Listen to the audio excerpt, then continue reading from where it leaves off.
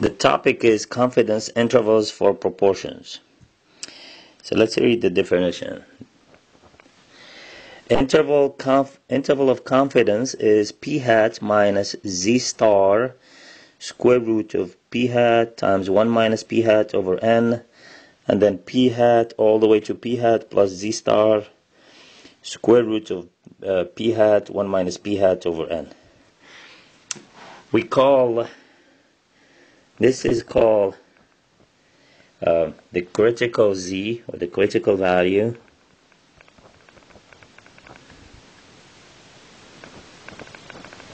Just the z star by itself. What else? Um, this is called standard error of p hats and then all of this you know let's do it here and all of this z star times all that quantity is called marginal error Alright, so let's do this example.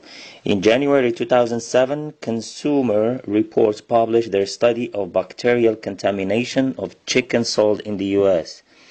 They purchased 525 broiler chicken from various kinds of food stores in 23 states and tested them for types of bacteria that cause foodborne illnesses. Laboratory results indicated that 83% of these chicken were infected with Campylobacter. Construct a 95% confidence interval. So here, all we have to do is, I mean, to just plug in. So what is p hat? We need to know what a p hat is first of all. Uh, so p hat, let's write it here. p hat is, where's p hat? 83%, so 0 0.83. Uh, what else we need? We need n. n is right here, the sample size, which is 525. What else we need? Oops, we need need some space here.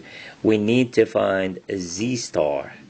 So Z star corresponds, right? We need this Z star. Z star corresponds to 95%. So this is how we do it. You have to use a calculator.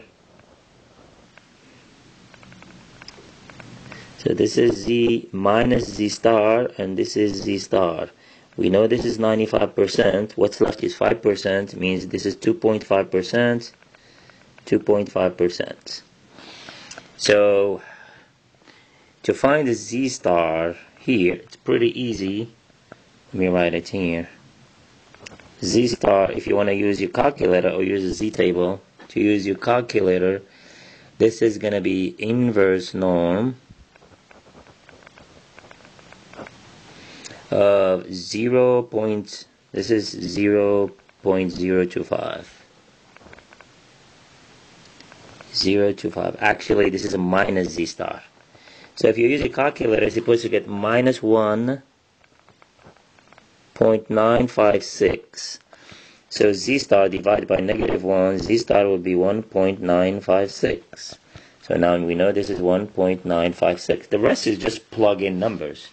So it's going to be p hat, I'm looking here, p hat is 0.83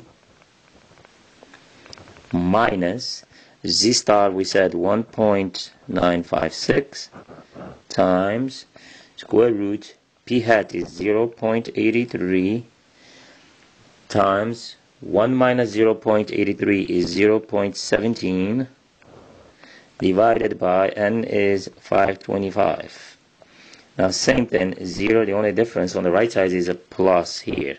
So 0.83 plus 1.956 square root 0.83 times 0.17 divided by 525 right. Now this is going to be equal to let's write it here. I mean just use your calculator now. If you plug all that stuff in the calculator this is going to be 0.798 and 0.862 alright Now, for question B, explain what your confidence interval says about chicken salt in the U.S. It's this is how you always do interpretation. You always start we are ah, some percentage confidence. Just read here. So in our case, we are we are what 95% confidence because that's what the question says right here. So we are 95% confident that between now p1 which I should call this p1 and x1 so here it says x1 x2 in our case.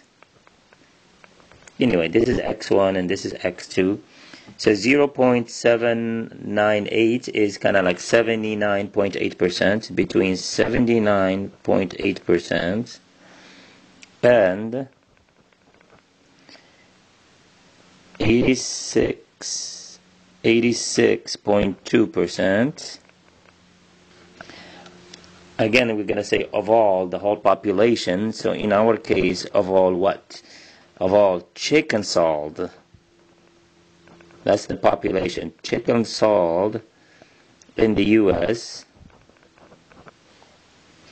and then is and then the true population in our I mean, in our case, is infected with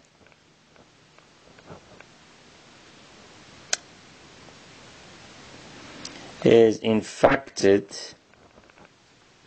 with Campylobacter.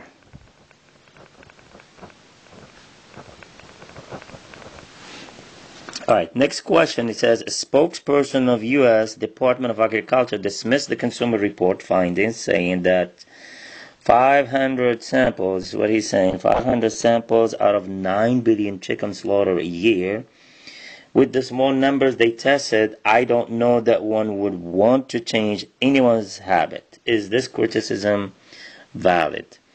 Well, uh, we have to know that. Uh, the size of the population is irrelevant. So size of population, in other words, big N, is irrelevant. What is relevant is as long as the conditions to create, so these are, let me write it here, conditions, as long as the conditions to create interval of confidence are met, which are here one, two, four, then then we're okay. But while in our case, if you want to check the condition, of course, one SRS, so we always assume the simple random uh, sample is satisfied. Uh, what's two? Two is we want to make sure that NP hat is bigger than 10, in our case is what? 525 is n times p hat is 0.83. If you use a calculator, that's 435.15. That's bigger than 10. 3